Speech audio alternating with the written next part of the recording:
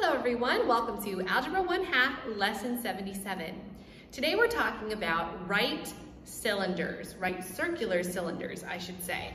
Now a right circular cylinder is anything like, for example, my water bottle. Now it's not a perfect cylinder because it does, um, the top is not quite the same as the bottom, but you get the idea. Um, then I have this bottle right here of wipes. This is a cylinder, okay? This one's a little bit more accurate because the top is basically the same as the bottom. So these are cylinders. Cylinders are very important. You'll see them a lot. Um, water tanks are more of a cylinder shape. Um, you'll see uh, oil tanks are a still uh, cylinder shape. All kinds of things are cylinder shapes. They're used very well. So it's important to know how to work with them, especially if you want to do anything in the scientific realm or mathematics, you'll need to know about right circular cylinders. So we have learned volume, area, surface area, all of those things. So let's talk about them when you have a cylinder. So to find the volume of a cylinder, it's the same as finding the volume of any object. The formula for volume is area of the base times the height. So what if I have a right circular cylinder? So this means a cylinder that has the same uh, base on the top and on the bottom. I have a right circular cylinder that is 20 meters tall and has a radius of two meters on the around the base. Okay, so if I have one like this, it has a radius of uh, two meters on the base and it has 20 meters in height. Well, to find the volume, the first thing I have to do is find the area of the base. Area of the base, well, the base is a circle. So area for a circle is pi r squared. According to my problem, r is 2. So it's pi 2 squared. 2 squared I know is 4, and I know that pi is approximately 3.14. So it's approximately 3.14 times 4. Multiply that out, and I get that it is approximately 12.56 feet squared for the area of my base. So to find the volume, I need the area of my base times the height of my object. So that equals 12.56 times the height which it says is 20. So when I multiply 20 times 12.56, I'm going to get, let me see here, 12, 10, 11, 5, 2, points. Okay, so I have about 251.2 feet, whoops, not squares, excuse me, volume is cubed because I have feet squared here times feet. So I have three units of feet, so it's feet cubed. 2,512 feet cubed for the volume, okay? Or excuse me, not 2,200, wow. 251.2 is what I meant to say. Feet cubed would be your volume. Okay, well what about surface area? So volume is really simple. Surface area, honestly, is simple as well. It doesn't look simple because here is my formula. Surface area is 2 times the area of the base plus perimeter of the base times the height. Let me explain it. Surface area is the area around your total object. So it's the area here, the area here, plus this area here. It's all the area. So we have two of the base, the base the same, so that's where we get the two times the area of the base. Now where do we get perimeter of the base times the height? Well, that's the formula to find this area, the area around my shape. We've already looked at this earlier. But if I were to cut this shape and spread it out, now it's not gonna be perfect because my shape is not the, um, this is not as tall as my shape, but you get the idea. If I cut this shape down one side and spread it out, what shape do I now have? This part here is a rectangle, a rectangle. So to find the area of this part here, this part really is in the shape of a rectangle. So I want to find the area of a rectangle.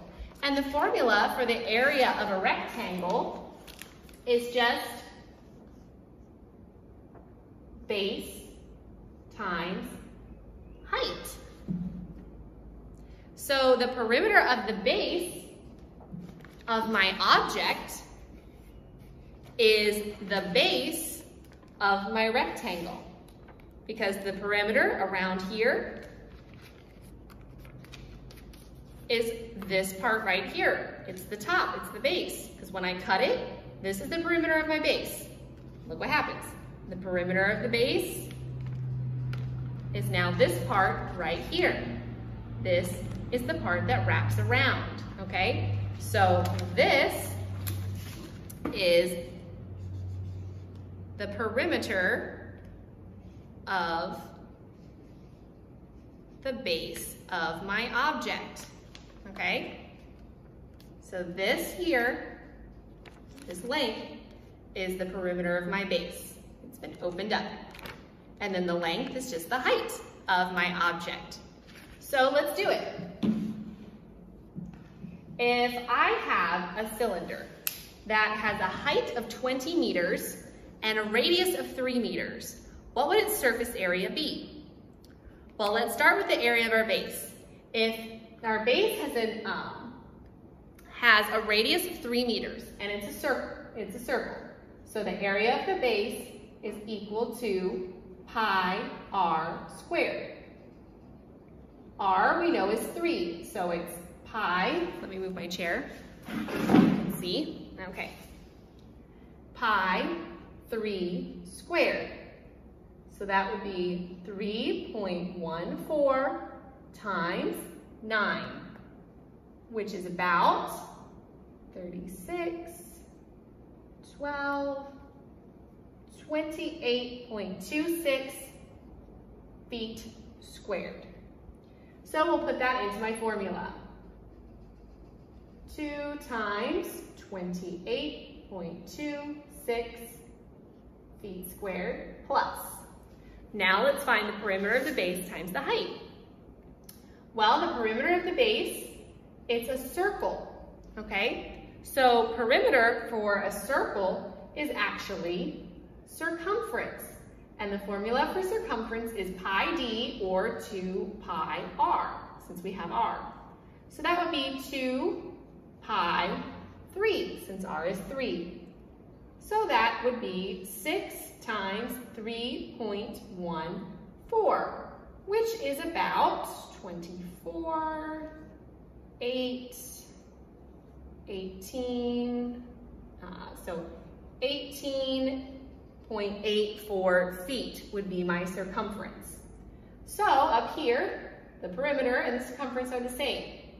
So I have 18.84 times and our height we know is 20. Okay? So for surface area, I have 2 times 28.26. So that gives me 12, 5, 16, 5, plus, let's see, 8, 16, 17, 3, okay? 376.8. Now I add those together, and that gives me 2, 3, 3, 3, 4. Okay.